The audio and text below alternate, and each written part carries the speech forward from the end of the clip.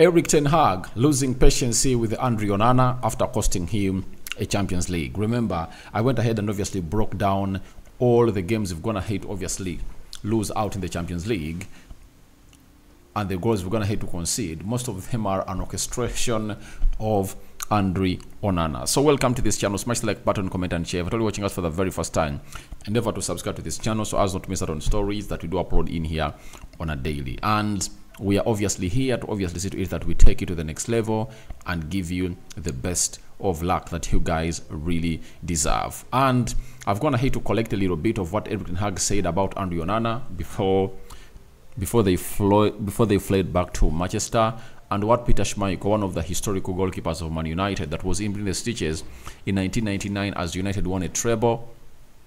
He has also gone ahead and really said certain things and the agent of Ben has gone ahead to reveal to us the mission as to why they signed for Manchester United and why they should really do the needful and push for the first in place at Manchester United because they might not be very erratic like this guy. So we thank God for the gift of life, the Muslim Barakallahu Fikum, and let's kickstart it off with this.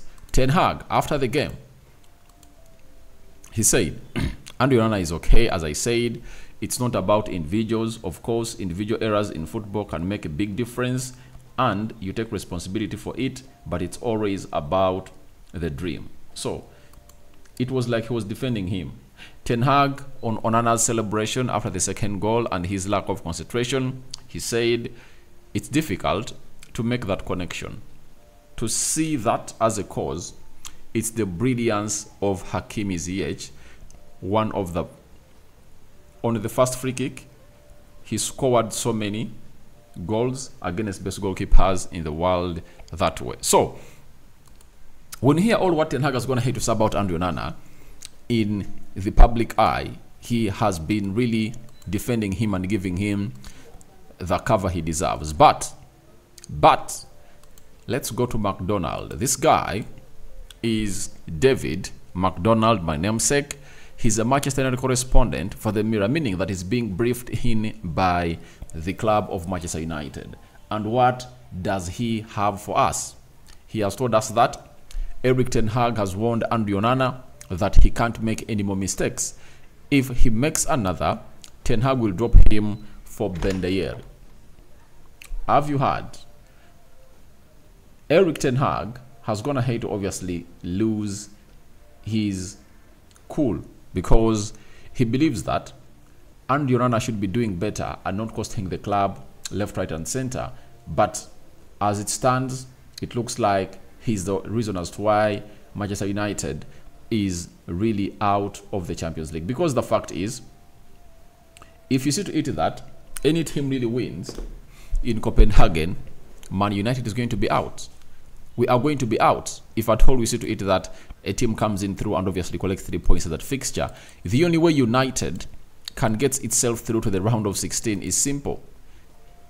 United should pray to it that a draw comes out as the best result for Copenhagen versus Galatasaray, and they make it a point that they beat Bayern Munich at Old Trafford.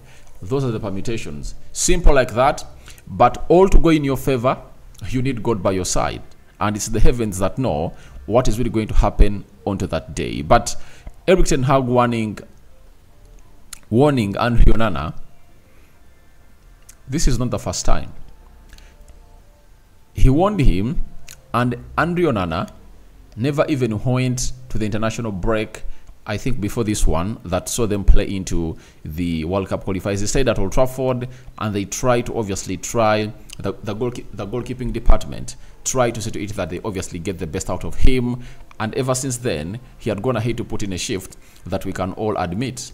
But after all that, he has gone ahead to cost us again. And in one of the most important games of the season, if he keeps those balls out, then we win that game by three goals to one. That is it. And the frustration would have gone ahead to grow huge into the fans or into the players of Galatasaray because even the fans of Galatasaray, after Bruno Fernandes scored the second goal, they really lost. They really lost it. They really lost it. So, but that goal that goes in just recharged them and they went ahead to obviously cheer up their guys and they obviously had to take us like that. So I think Erik Ten Hag is right. You know, sometimes you need to do a very huge change and bring in Bayindir and see whether he can obviously come in through and really take us to the next level. We deserve to be at the club of money because we aren't going to be like this forever.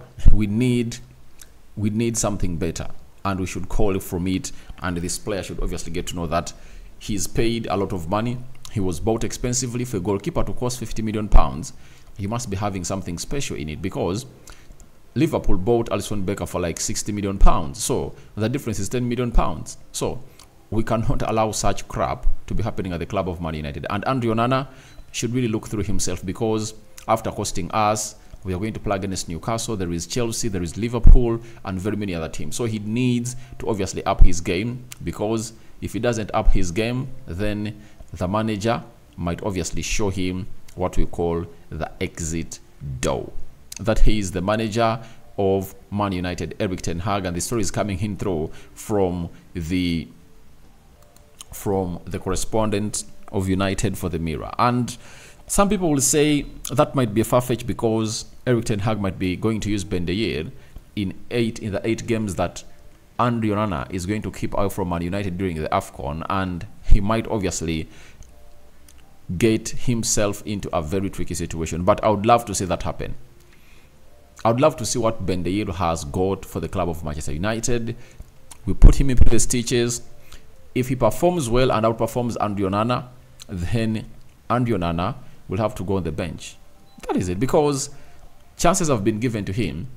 Even in the games where Erik Ten Hag would have gone ahead to obviously get Ben and put him in between the stitches, especially the two games he played in the Carabao Cup against Crystal Palace and against Newcastle, Ten Hag just went ahead to obviously put in Andre Onana because he wanted to obviously not pile pressure onto him. As if at all Ben went into those games and really played very well, and Andre Onana went ahead to continue putting out such petty mistakes that cost the club of Man United, with the fans would have gone ahead and said, Mr. Erik Ten Hag, it's high time we drop this guy and really got in Bayindir to play into the goalkeeping department of Manchester United. And to show you that seriousness is really huge and Erik Ten Hag is really ready to obviously make these changes, he has gone ahead and really said that we were very happy with our. We are very we are, we are very happy with our goalkeepers. They are doing well. They have to push each other. We are happy with Bayindir. He's getting used to English football, European football. We are happy with the process. He has to be patient, but if he works well and continues to improve, he will have his chance. So, Ten Hag has promised Bayindir that his chance is coming. Ten Hag has spoken to the media about it. And I'll never, never doubt Erik Ten Hag when he talks about a chance. Because if the first choice goalkeeper is being outperformed in training by the second choice goalkeeper, then Ten Hag will take that decision. That is it. And that decision is one of those that I would love to see to it that it's being taken very, very soon. Because sometimes when you don't bench a goalkeeper like Andre Onana, he won't get to know that he is irreplaceable. That is it. Because all those chances that's going to hate to really cost the club of Man United, all those goals that's going to hate to cost the, the, the team of Man United are really very, very huge. And for your information, that not only stops onto what is going to hate to cost the club, but the money, the Champions League money because when you qualify out of the group stages, there is some huge money that you get. And who knew how United was going to look if when Casemiro returns, Lisandro Martinez returns, Amad Diallo returns, and after reinforcing into the January transfer window as the draws will be made on the third, on the 14th of December. You get so it's really a very huge chance that you are being denied by Andre Onana to go through the group stages and really sort ourselves later with the likes of Casemiro back, Lisandro Martinez, you know, Luke Shaw is back, Varane is here, you know, Eriksen, if at all Eriksen gets back, that means we can obviously get in to the best teams in February and obviously put them onto our sword, you know. So after that, we have something from the agent of Bayindir. He has been speaking to to Yako Sabchonglu and Sports Digitali or Sports Digital down in Turkey. He has said Bayindir wants to take over as Man United number one choice goalkeeper before Andrew Nana goes to the AFCON. That's his goal. Man United fans are actually oppressive on this issue. I hope Bayindir will be able to move into goal in the near future. So, we've seen this happen, you know. The more the first choice goalkeeper continues to make mistakes, the more the second choice goalkeeper is charged to obviously take over that position. And when you hear his agent speak, he wants Bayindir to take over even before Andrew Onana goes to the AFCON. Because when he goes to the AFCON, obviously Bayindir will be the one responsible to meet the stitches of Man United. But before he goes, the agent believes there is room for him to obviously gate his goalkeeper in between the stitches. And the fans are oppressive and they want it to happen. Now it's in the hands of Erik Ten Hag. But if you're going to hate to hear Erik Ten Hag, he has told you that he wants this guy. He wants, sorry, he's considering Ben Bayindir to obviously take over if at all he continues to push Andy Onana to the bench. Let's wait and see how that pans out. But uh, in the game of Newcastle, we all know that Ten Hag is obviously going to get in Andrew Onana to come out and, and really Uh, exonerate himself. Then Peter Schmeichel said, I think all four defenders played very well today. I don't think they could have done much more. But again, the goalkeeper's mistakes are very, very costly. Obviously, the mistakes of the goalkeeper costed us, and everyone saw it in under the floodlights that Andy Onana went ahead to cost us. And there is something I've gotten in from the Manchester Evening News that Schmeichel's gone ahead to hint about. He has said, the mistakes by the goalkeeper are very, very expensive. Every time a goalkeeper makes a mistake, it's a goal. That is just a fact of life.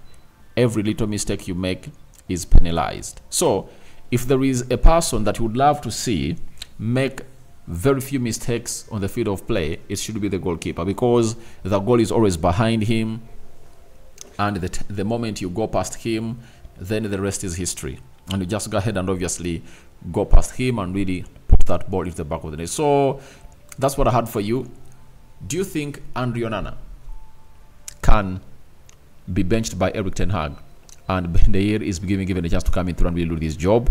All that and more into the comment section below. And what do you make about the agent of Bayindir saying that his agent sorry his client wants to push Andrew Onana out of the starting 11 of Man United before he even goes for the AFCON? May the living to God bless you abundantly. Rokan David is my name. I sign out for now. See you later as the Muslims Barak Laufikum we out